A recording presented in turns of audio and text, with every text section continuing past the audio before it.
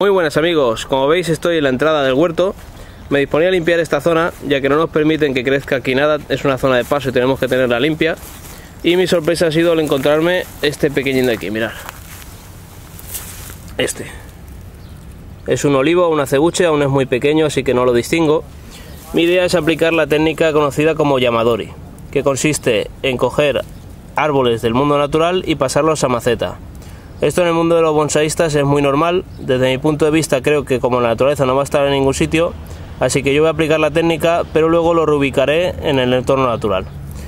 Para aplicarla lo que vamos a hacer es una zanja alrededor de unos dos palmos más o menos, intentando sacar el mayor número de raíces posibles.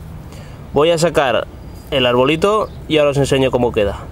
Bueno, como podéis ver ya ha salido el arbolito, la verdad es que estaba bastante profundo no ha salido con cepellón como yo quería, pero bueno, a raíz desnuda va a agarrar de todas formas.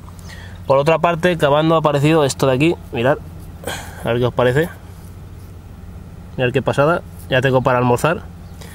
Ahora voy a cogerlo, nos vamos dentro del invernadero y os enseño cómo pasarlo a maceta. Bueno, como veis ya estamos dentro del invernadero. Ahora el siguiente paso para pasarlo a maceta será poner un poco de tierra, preparamos el agujero y lo ponemos, lo presentamos así, para que quede de pie.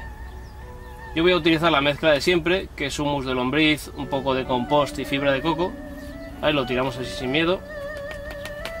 Alrededor. Y chafamos un poquito. Para que quede así, erguido. Si vemos que falta un poco de tierra, se puede añadir más sin problema. Ahora el siguiente paso sería aplicar un riego abundante para estimular el crecimiento de las raíces. Y quería daros un par de consejillos. El primero es que lo tengamos en un lugar protegido del viento, muy importante para que tenga fuerza y agarre y estimule nuevos brotes como este de aquí. Y un lugar en semisombra, ¿vale? Que no esté al sol directo. Así lograremos que el arbolito prospere. Para luego, cuando veamos que tiene ya fuerza, más o menos al pasar un mes o dos meses, lo devolveremos al medio natural. Pero bueno, eso ya cada uno que haga lo que prefiera.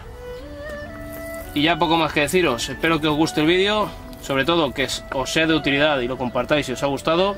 Y lo que siempre os digo, nos vemos en el próximo vídeo.